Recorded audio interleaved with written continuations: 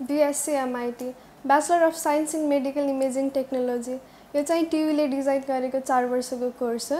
यस कोर्सभित्र चाहिँ हामीले मेडिकल इमेजिङ टेक्नोलोजीको रेडियोलोजिकल तथा न्युक्लियर मेडिसिन रिलेटेड प्रोसिडियरहरू जस्तै कि X-ray CT scan MRI mammography fluoroscopy digital subtraction angiography PET scan SPECT scan elastography ultrasound लगायत अरू डिफ्रेन्ट रेडियोलोजिकल प्रोसिडियरहरूको बारेमा पढाइ हुन्छ। डिजिटल इमेजिङ टेक्नोलोजी बिना चाहिँ अहिले हेल्थ केयर सिस्टम टिममा धेरै रोगहरू डायग्नोसिस नहुने भएकाले अहिले मेडिकल इमेजिङ टेक्नोलोजी फिल्ड एकदमै इम्पोर्टेन्ट बनेको छ। बिएमआइटी कोर्समा चाहिँ रेडियो डायग्नोसिस तथा रेडियोथेरापीको स्पेसिफिक पढाइ हुन्छ। बिएमआइटी चाहिँ नेपालमा चारवटा युनिभर्सिटीमा पढाइ हुन्छ। टियु केयु पिपिकेएचएस धरान र नाम्समा टियु रिलेटेड कलेजहरू यसमा आइएएम सिएमसी जिएमसी र युसिएमएस पर्छन् अनि रिसेन्टली चाहिँ नेसनल मेडिकल कलेज वीरगन्जमा पनि एड गरिएको छ। टियु रिलेटेड कलेजमा आइएम सेन्ट्रल कलेजमा दसवटा सिट हुन्छ अनि बाँकी एफिलिएटेड कलेजहरू युसिएमएस जिएमसी र सिएमसीमा छ छवटा सिटहरू रहेको हुन्छ। त्यसपछि केयुले रिसेन्टली लास्ट इयरदेखि एड गरेको छ यो कोर्स अनि केयुमा बिसवटा सिट रहेको छ।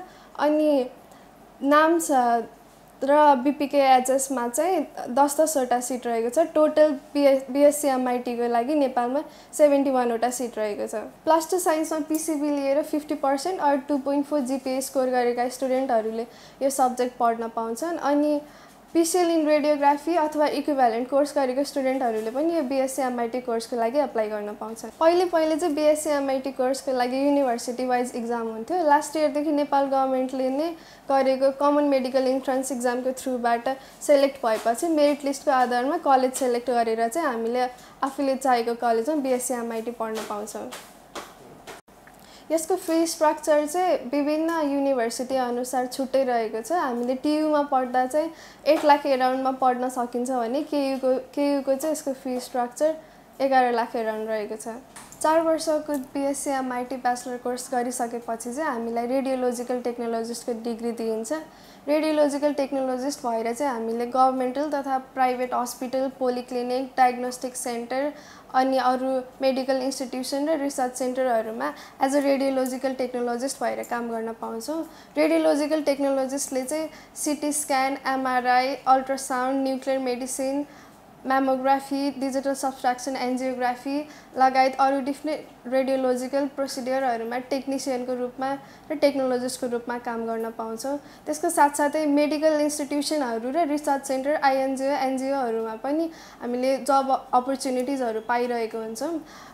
रिसेन्टली चाहिँ हामीले एज एन एप्लिकेसन म्यानेजर र रेडिएसन प्रोटेक्सन अफिसरको रूपमा काम गर्न पाउँछौँ। जे सिमेन्स टेस्ला फिलिप्सहरू जस्तो कम्पनीहरूको रेडियोलोजिकल इक्विपमेन्ट अपरेट गर्ने एज एप्लिकेसन म्यानेजर भएर पनि काम गर्न पाउँछौँ यदि हामीले बिएससी एमआइटी कोर्स गरेर अपडेट जाने सोच्ने हो भने पनि अरू डिफ्रेन्ट मेडिकल सब्जेक्टहरू जस्तै त्यो कन्ट्रीको लाइसेन्स इक्जाम दिएपछि चाहिँ हामीले रेडियोलोजिकल टेक्नोलोजिस्टकै रूपमा काम गर्न पाउँछौँ अनि मास्टर्स गर्नको लागि जाने हो भने नेपालमा भन्दा धेरै स्पेसिफिक कोर्सहरू र डिफ्रेन्ट सब्जेक्ट्सहरूमा स्पेसलाइज गर्न पाइने भएकाले त्यहाँ अझ धेरै स्कोप रहेको हुन्छ।